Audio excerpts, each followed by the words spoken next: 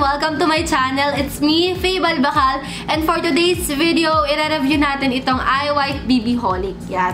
So ngayon, may pupuntahan din ako dun sa bahay ng kaklase, kaibigan, at kung sino-sino man. Kasi fiesta ngayon sa kanila. So yun, so nagmamadali na rin ako kasi tanghali na. Baka maubos na yung handa at matapos na yung fiesta. Ang bilis ko magsalita.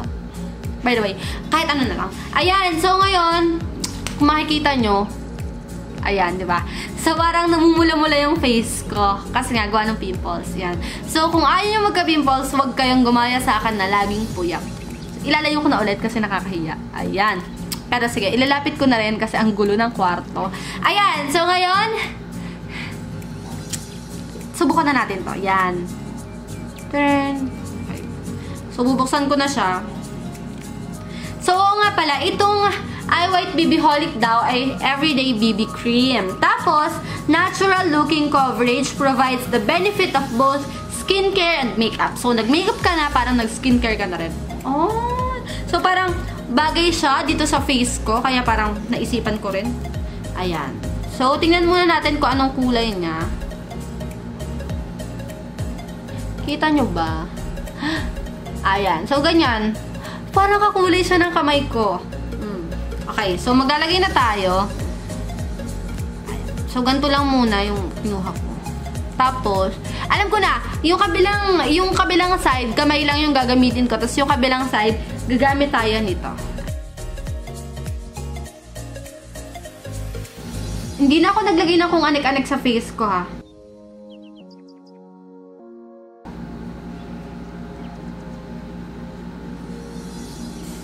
Ay, ang bango niya. Mabango siya.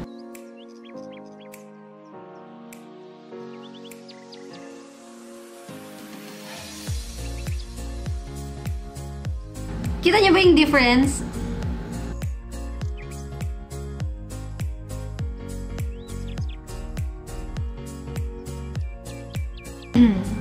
okay siya, no? Kita niyo, oh.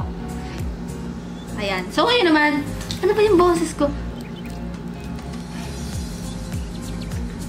Lagay ko lang siya sa kamay ko.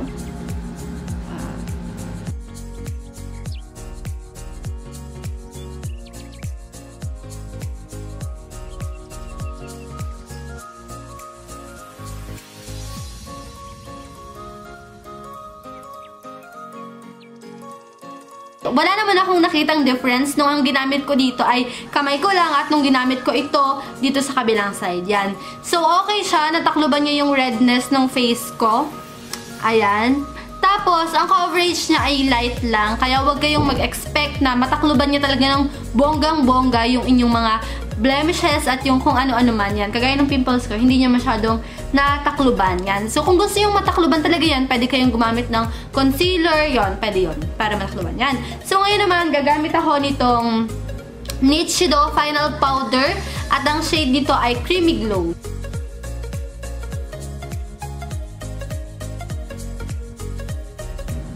Ang gusto ko, lagyan ko na buong face. Ayan, so magkikilay na ako. So, ang gusto kong i-achieve na kilay ngayon ay yung parang natural lang na parang walang nakalagay.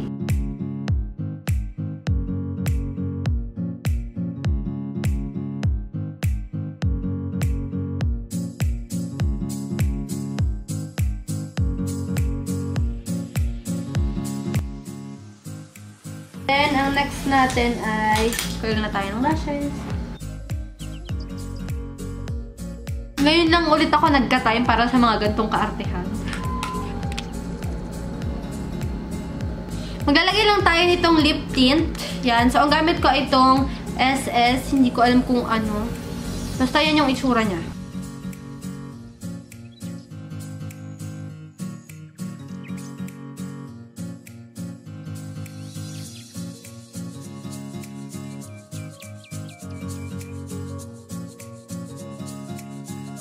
Ayan, so okay na tayo. Pwede tayo umalis. update ko kayo mamaya kung ano yung mangyayari, okay?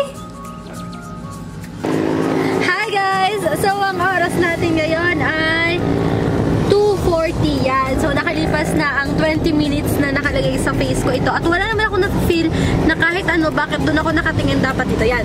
So, wala ako na-feel na kahit ano, as in parang walang nakalagay. At grabe, ngayon, nung nasa labas na, saka ko lang na-realize na, ay, oo nga pala, natakluban niya nga pala yung redness ng face ko kanina. So, yun. So, okay siya. So, babalik ulit ako mamaya para sa update.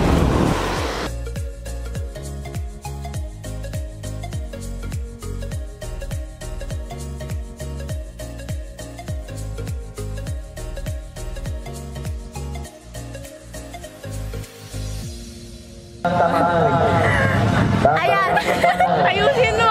Hi guys! Nandito na kami sa Bayan! Excited na ako guys!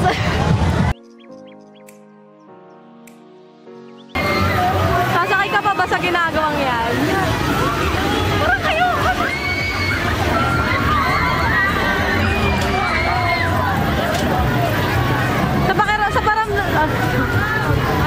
Hi guys, nasa tuktok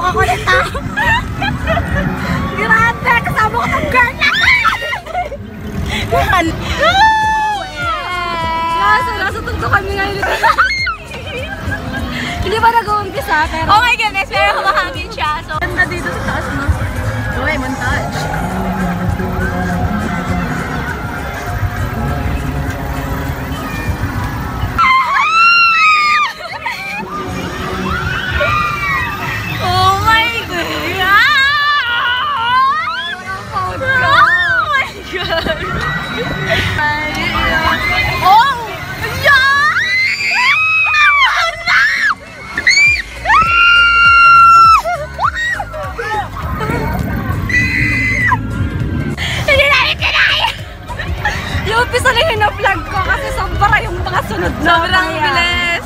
Ayan. So ngayon, i-update ko kayo dito sa BB Holic. Nasa, nasa wheel lang kami, guys. So, BB Holic! ah, so, pababa na ngayon. Yan, kita nyo naman. So, okay naman tong BB Holic na to. Hindi naman niya ako iniwan nung nandito kami sa sasakayang ito. Yeah. So, I'm back. Yan. So, ang oras na ngayon ay 7, wait lang. Ay 7.58, yan. So, ganito ha. So, ganito rin yung gawin nyo kasi wag na kayong maglag maglagay ng powder o ganyan. Mag-blot na lang kayo. So, ito yung pangalawang beses ko pa lang ng pagbablat. So, itry natin. Kung meron tayo makukuhang oil. So, alam nyo, okay siya sa akin kasi parang walang nakalagay sa face at parang natural lang siyang tingnan. Ayan. So, meron siyang very light. So, so far, nagustuhan ko siya. Maganda siya. Talagang napakadaling gamitin. Napaka, alam nyo yun, parang wala akong nafe-feel na kahit anong kakaiba. Six times ko magagamit itong isang sachet na ito na halagang 24.50 pesos. Yan. So, pwede kayong bumili ng malaki na, malaki nito na, na may lagayan talaga siya. 159.50 pesos. Maraming maraming salamat sa panonood. Don't forget to subscribe and see you on my next video. Bye!